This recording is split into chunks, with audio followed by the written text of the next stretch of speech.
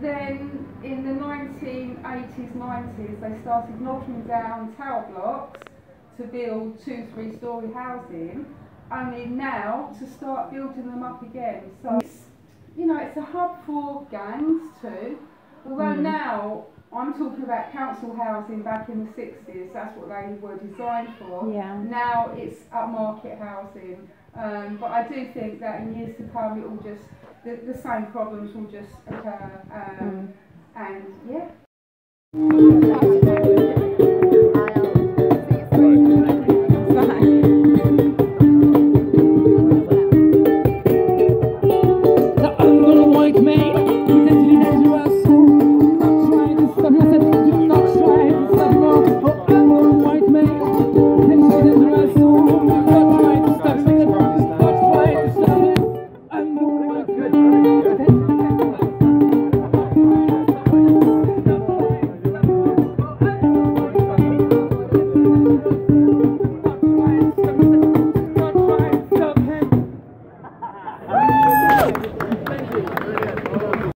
This was, tower blocks were a social housing experiment in the 1960s.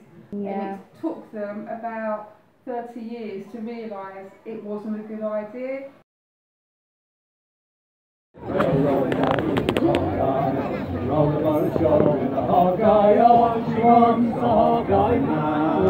So in the garden, sifting sand with a Hawkeye man sitting hand in hand on a. Hawkeye, railroad navvy with Hawkeye.